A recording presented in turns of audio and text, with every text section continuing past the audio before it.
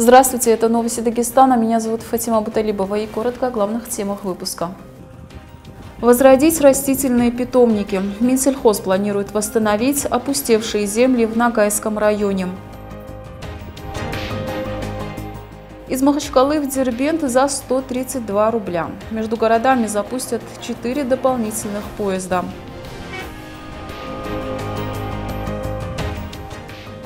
Новое швейное оборудование от Муфтиата и мастер-класс от радиоведущих.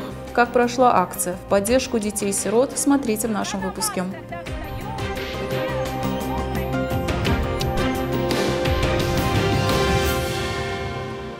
Министр сельского хозяйства посетил Нагайский район Дагестана для выработки мер по борьбе с опустыниванием земель. Делегация осмотрела участки, где планируется создать питомник для выращивания саженцев. На объектах побывали и наши корреспонденты.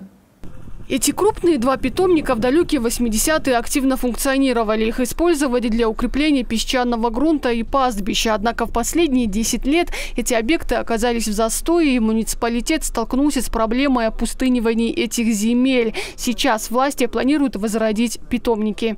Мы э, эту работу продолжим. И главное, мы сделаем все, чтобы разгрузить наши эти э, зимние пастбища, значит, э, привести в порядок Питомники полностью обеспечены водой. В скором времени здесь высадят кустарники джузгуна и терискана. Специалисты говорят, они более всего подходят в борьбе с движущимися песками. К восстановительной работе привлечены местные власти и научное сообщество. Эксперты говорят, возродить пастбище удастся всего за три года. Мы все объехали э, и питомники, и некоторые участки закрепленные. Есть четкое понимание, как дальше действовать. И сейчас, в ближайший сентябрь, октябрь месяц, уже будет ряд, э, принято ряд уже правительства, некоторые решения по закреплению песков по, по, по этим проблемам. Кроме того, планируется провести геоботаническое обследование. Это, в свою очередь, позволит произвести расчет кормоемкости. Исходя из этого, в порядок будет приведена и численность поголовья в районе. Патимат Ханапова, Мурат Бигбарзов, Новости ННТ, Нагайский район.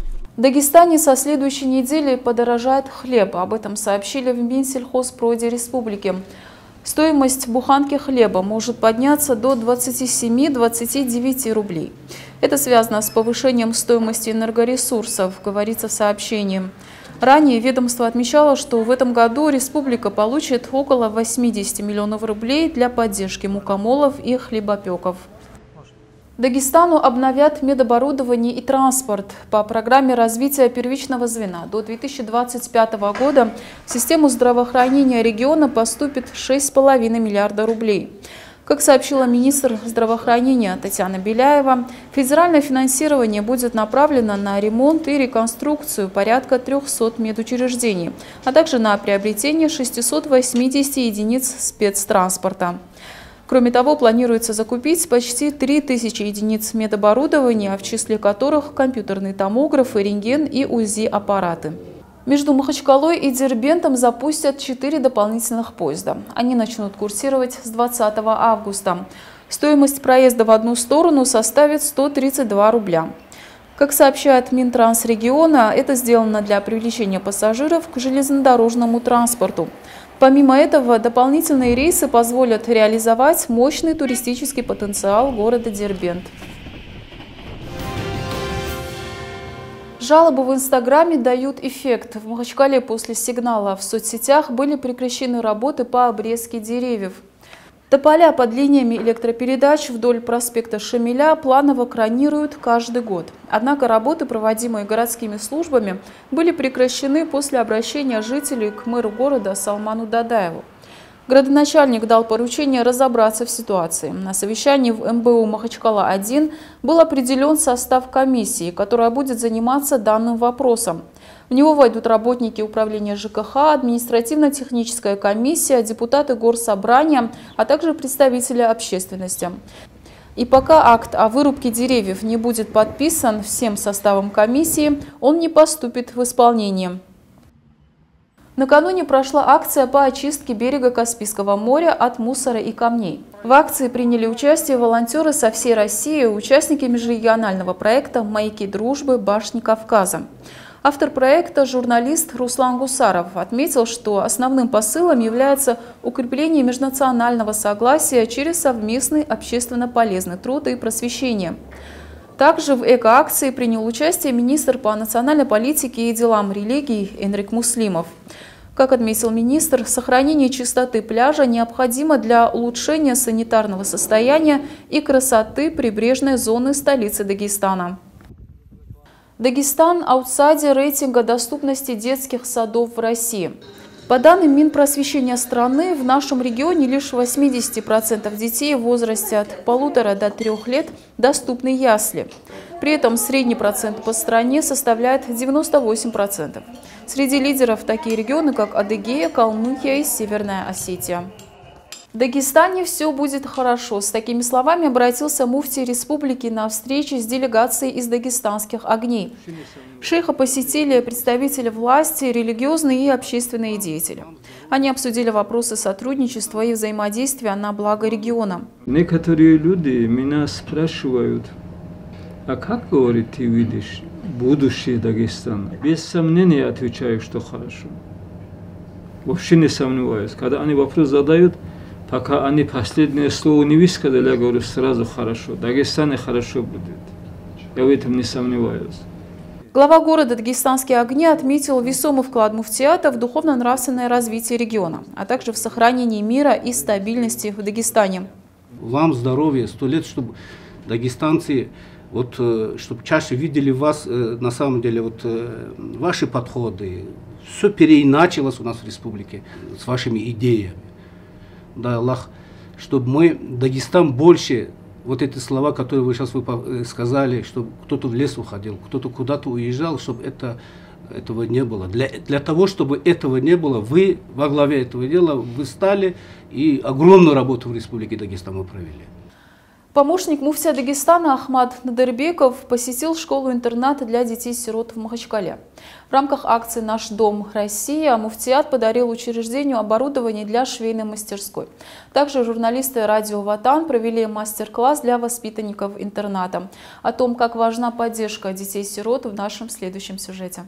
К сожалению, дети, оставшиеся без попечения родителей, не редкость в нашем обществе. Эффективная помощь сиротам – это не только деньги и подарки, но и внимание по отношению к ним, отмечают представители муфтията. В первую очередь детям необходимо дать определенные навыки самостоятельной жизни. Для этого в школе уже создана швейная мастерская, а духовенство оборудовало цех техникой. В рамках этого проекта мы здесь сегодня проводим акцию «Наш дом Россия». Будем встречаться с детьми, мы э, привезли сюда небольшие подарки для детей. Надеемся, эта встреча и общение принесет пользу для них, и они почувствуют поддержку и заботу с нашей стороны. Для проведения встречи с детьми помощник муфтия и журналисты выехали в Унцукульский район, где воспитанники интерната отдыхают во время летних каникул. Здесь журналисты радио «Ватан» провели мастер-класс, на котором рассказали об особенностях своей работы, о правилах написания текстов и о важности образования. Мы должны уметь по-другому смотреть на разные вещи, на привычные вещи. Вот, например, а, ну вот смотрите, это что? Это кольцо. Кольцо. Точно кольцо? Да. А что еще это может быть? Нет, это может быть открывалка от бутылки лимонада. Я могу вот так вот просто подеть и открыть бутылку лимонада. Может ли быть это кольцо открывашкой? Нет. Да. Может быть, я же открываю им лимонад. Может. Ахмат Надырбеков также рассказал ребятам о важности религиозных знаний, о работе муфтията и напомнил слова шейха Ахмада Афанди. «Пока мы есть, вы не сироты». Наталья Ханбабаева, Дауд Гасанов, Новости ННТ, Унцукульский район. Председатель комитета по спорту, туризму и делам молодежи Марат Ибрагимов встретился с мастером спорта России Алиханом Жабраиловым. В этом году Жабраилов стал чемпионом Европы по вольной борьбе. У спортсмена немало достижений как в стране, так и за ее пределами. Борец вольного стиля является обладателем Кубка мира, чемпионом мира среди молодежи, призером чемпионата мира 2019 года.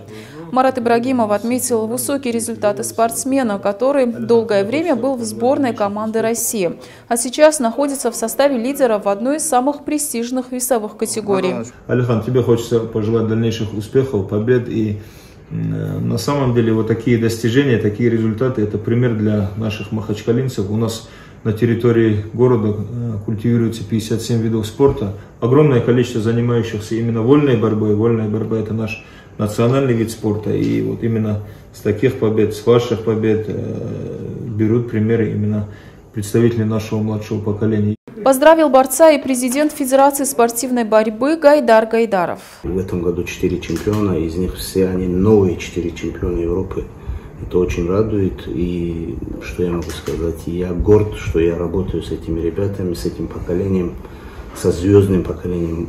Сам Алихан поделился, что теперь его новая и главная цель – пройти отбор на Олимпийские игры 2024 года во Франции.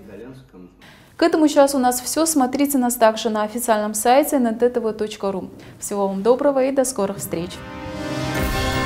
Thank you.